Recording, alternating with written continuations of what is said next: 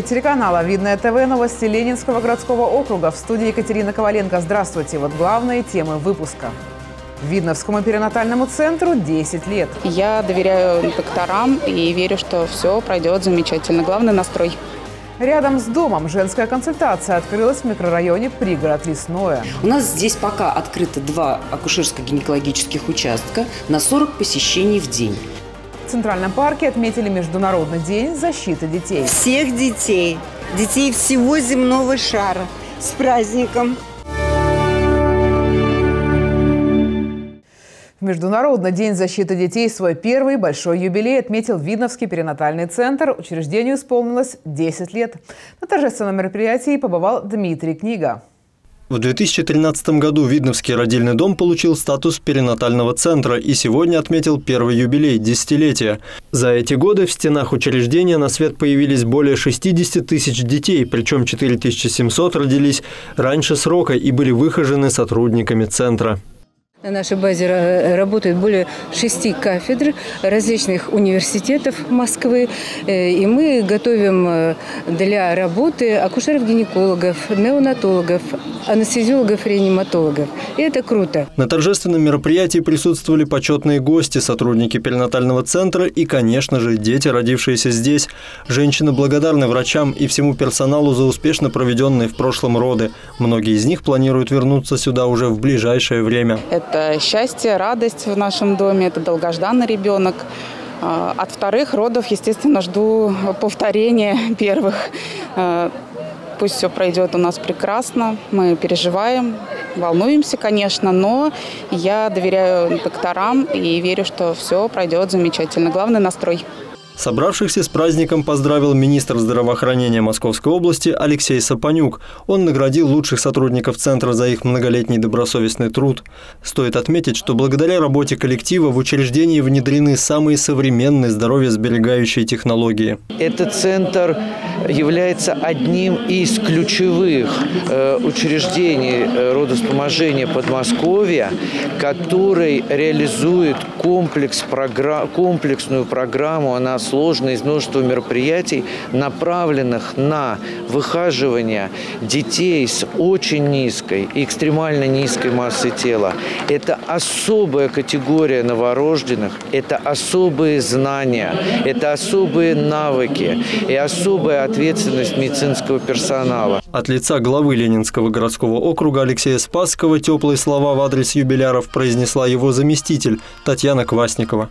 Примите слова благодарности за вашу верность избранному делу, внимательное, чуткое и доброжелательное отношение к своим пациентам, здоровья, благополучия, уверенности в завтрашнем дне и новых достижений. Помимо чествований и награждений, гостей праздника поздравляли выпускники перинатального центра, ребята, родившиеся в период с 2013 года. Они читали стихи собственного сочинения и выступали с песнями и танцами. Дмитрий Книга, Сергей Ларин, Максим Константинов, Видное ТВ. Еще одна новость от Видновского перинатального центра. В микрорайоне пригород Лесной открылась женская консультация. Теперь местным жительницам стало еще удобнее пройти необходимое обследование и посетить врача-гинеколога. Рядом с домом в жилом комплексе «Пригород Лесной» в Международный день защиты детей распахнула свои двери женская консультация. Перерезать заветную красную ленту и поздравить с открытием приехала заместитель главы администрации Ленинского городского округа Татьяна Квасникова. В истории Ленинского городского округа это первая такая знаковая э, веха развития перинатального центра, открытие филиала в отдельно взятом жилом комплексе. Я желаю всем жителям э, пригорода Лесное и особенно девочкам, девушкам, женщинам, тем, кто будет приходить и наблюдаться и сопровождаться вот в этом замечательном месте, в этой поликлинике, в женской консультации. Желаю здоровья, Внутри просторно, светло и комфортно. Филиал оборудован всей необходимой техникой по самым современным стандартам. Есть процедурный кабинет для забора анализов, кабинет УЗИ для проведения функциональной диагностики, и это еще не все. Площадь женской консультации более 160 квадратных метров. Это 10 различных кабинетов и помещений. И есть даже дневной стационар на три койко-места. Помещение выделено администрацией муниципалитета. Также за счет средств местного бюджета выполнен ремонт и предоставлена служебная трехкомнатная квартира одному из врачей этой женской консультации. Всего в штате филиала два акушера-гинеколога и специалист по проведению УЗИ. Они помогут девушкам и женщинам в решении многих вопросов. Здесь можно сдать анализы э, мазок, онкоцитологию, э, сдать все необходимые, полностью пройти полностью комплексное обследование как беременной, так и гинекологической пациентки, э, сделать кольпоскопию, э, провести ультразвуковое исследование. В первый же день работы женскую консультацию посетили 10 местных жительниц, которые мгновенно оценили прекрасные условия. До Видного здесь совсем неудачно добираться, надо пересаживаться на автобусы, то есть на двух автобусах, чтобы доехать до Видновского перинатального центра, а здесь очень э, удобно будет и комфортно. У нас здесь пока открыто два акушерско-гинекологических участка на 40 посещений в день. Это достаточно большое количество посещений. Я думаю, мы на сегодняшний день удовлетворим потребностям жителей микрорайона пригород Лесное. В дальнейшем, в принципе, мы можем расшириться до четырех участков. Также в планах открытие женской консультации в других крупных жилых комплексах муниципалитета. На очереди «Зеленые аллеи». Екатерина Коваленко, Кирилл Иванов, Гульнара Балаева. Видно ТВ. В одном из троллейбусов обнаружили подозрительный предмет. Так начиналась легенда антитеррористических учений в Видновском троллейбусном парке. Как с ликвидацией условной угрозы справились сотрудники экстренных служб, узнал Максим Козлов.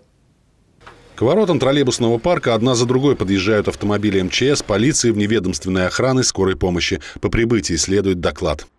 102-я прибыла, поступила в распоряжение начальнику ЧЧС Комаров. Осмотр троллейбусов, вернувшихся из рейса, обычная и даже рутинная процедура, но в этот раз под одним из сидений водителя ждал неприятный сюрприз. По легенде тренировки на въезде в троллейбусный парк в ходе обязательного осмотра транспорта сотрудникам охраны был обнаружен подозрительный предмет. Было проведено э, оповещение диспетчера экстренных служб, проведено ограждение это, данного предмета и осуществлена эвакуация сотрудников персонала предприятия. То, что легко рассказать, не так просто воплотить в жизнь. Пока у въезда на предприятие собирались экстренные службы, с другой стороны здания люди эвакуировались на безопасное расстояние. Такие тренировки нужны, чтобы понять, сколько времени затрачивает предприятие в той или иной критической ситуации. Однозначно люди поднялись, ровно, четко последовали, соответственно, громкому приказу который у нас по динамикам был передан для людей, и эвакуировались. Наконец появляется главный герой, который должен дать ответ на основной вопрос, стоит ли опасаться подозрительной находки. После нескольких попыток исследовать сверток, кинолог по поведению собаки определяет, что опасности предмет не представляет.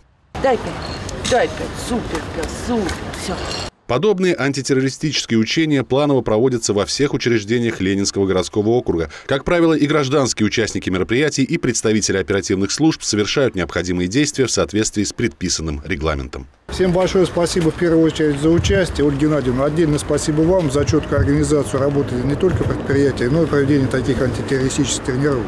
Видно, что персонал действует слаженно, осуществляется контроль за действиями сотрудников охраны. Следующее учение планируется провести на территории Дворца спорта «Видное». Максим Козлов, Кирилл Иванов, Гульнара Балаева. Видное ТВ.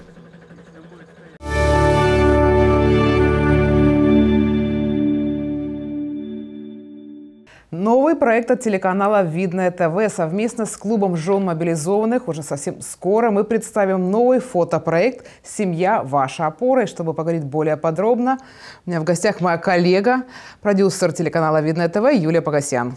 Катерина, здравствуйте. Да, привет. Ну, расскажи подробнее, что, что, что это за проект? Возникла такая идея а, совместно с клубом жен мобилизованных и лично а, Анной Морозовой а, сделать что-то интересное относительно участниц этого клуба, а их уже более ста человек. долго думали, как это воплотить в жизнь, и решили сделать такую межпрограммку, которая будет выходить по вторникам. Буквально со следующей недели наши зрители ее увидят. А, что вообще из себя представляет? Фотосессия, профессиональная фотосессия участниц вместе с тем им создается макияж, прическа профессиональными визажистами, стилистами.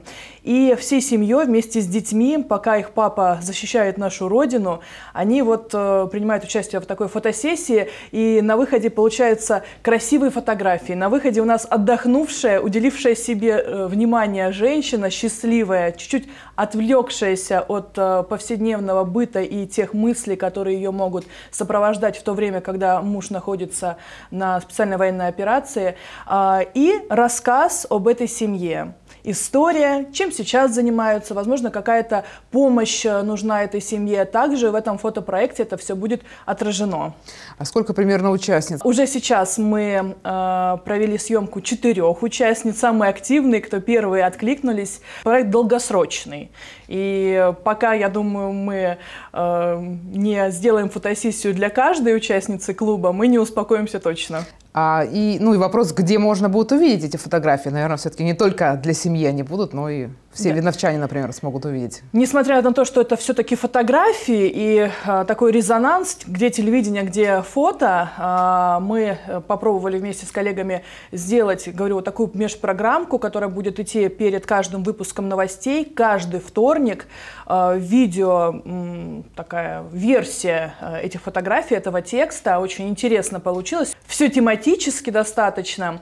А, на телеканале «Видное ТВ» по вторникам, в социальных сетях МАУК ВДК, то есть «Видное ТВ» и «Видновские вести», также и в газете «Видновские вести», и, конечно, на экране нашего любимого кинотеатра «Искра» также все горожане смогут увидеть э, тот самый крепкий тыл наших бойцов специальной военной операции. В планах может быть какая-то выставка в ближайшем будущем? Катя, ты знаешь, отличную сейчас идею подала. Возьмем на вооружение, а почему бы и нет? Ведь есть чем гордиться гордиться этими достойными женщинами, достойными э, супругами наших защитников.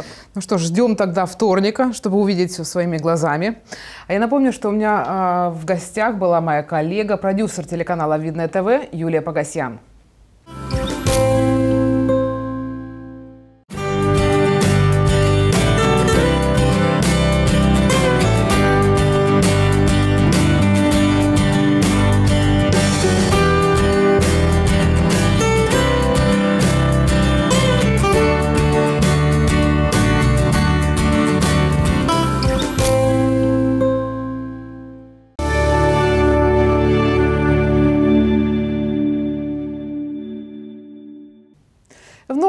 Микрорайоне Южная Видная прошло мероприятие, посвященное Международному дню соседей. Организовали развлекательную программу сторонники партии «Единая Россия» и активисты «Молодой гвардии». На праздник пригласили и нашу съемочную группу. Дружно моим окнам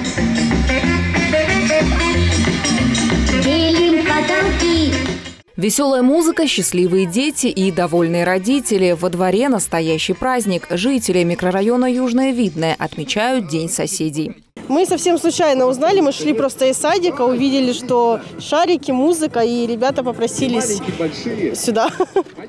Мероприятие открыло серию развлекательных программ в округе, призванных развивать социальные связи и дружить со своими соседями. Организовали праздник во дворе сторонники партии «Единая Россия» и активисты «Молодой гвардии». Такой формат необходим в первую очередь для сохранения каких-то новых традиций добрососедства. Так как новый микрорайон, все жители только знакомятся с друг другом. Я думаю, что будет полезно такое мероприятие, где они узнают о друг друге и будут знакомиться. Местная жительница Ирина Бушан рассказывает, как только переехала в новую квартиру, сразу познакомилась со своими соседями. Считают, что очень важно общаться с людьми, живущими рядом новый микрорайон, и все только приезжают, молодые семьи, и знакомятся друг с другом, знакомят, э, знакомятся между собой детишки. То есть это важно общение для детей, для родителей. Юные жители активно участвовали в конкурсах и танцевали. Малышей привлекали разноцветные мелки, которыми они умело рисовали на асфальте. Для ребят постарше был организован художественный мастер-класс. Нет, сейчас мальчик, сейчас мальчик у нас на очередь, давай. Потом девочка. Пока дети заняты, у родителей появилась возможность задать интересующие вопросы представителям управляющей компании. Во время встречи обсудили традиции добрососедства и план проведения летних мероприятий. По обращению жителей в ближайшее время местное отделение «Единой России» проведет серию игр по волейболу и футболу для команд из жилого комплекса. Наталья Буслаева, Александр Логинов, Ольга Садовская, Видное ТВ. Сегодня, в Международный день защиты детей, в Центральном парке было шумно и весело. Юные видновчане поучаствовали в конкурсах, викторинах, мастер-классах. О том, какие впечатления получили герои праздника, расскажет Юлия Погасьян. Сегодня в Центральном парке города Видное собралось более двух тысяч человек. Люди пришли сюда, чтобы отметить День защиты детей и встретить лето. Организаторы подготовили для гостей мероприятия обширную программу. Мастер-классы, конкурсы, праздничный концерт и многое другое. Наконец свершилось то, чего мы все ждали, не только дети, но и взрослые. Началось лето, и сегодня хочу, конечно, пожелать нашим детишкам э, радости, улыбок, хорошего настроения, чтобы они э, за летний период успели отдохнуть, набраться сил, энергии, здоровья, чтобы начать новый учебный год. В первый день лета об учебе дети, конечно, и думать не хотят. Сегодня они веселятся и наслаждаются солнечной погодой. Сегодня очень хороший праздник потому что дети сегодня его отмечают, дарят подарки родители. Мне запомнилось, как мы сегодня танцевали. Настроение прекрасное, потому что солнечно, ярко, прикольно. Весело-то хоть здесь? Да и вообще первый день лета. Да. Какие планы на лето? Ну, веселиться, играть как больше проводить время на улице. Праздник начался еще утром и продлился до вечера. Все желающие могли попробовать себя в изобразительном искусстве. Другие выбрали катание на аттракционах. Кто-то стал зрителем увлекательного концерта, а маленькая Маша решила поучаствовать в конкурсе рисунка на асфальте и не прогадала. Выиграла плюшевого медведя с себя ростом. Что ты рисовала на этом конкурсе? Планету рисовали? Планету рисовали. А на ней кто живет? И диалог.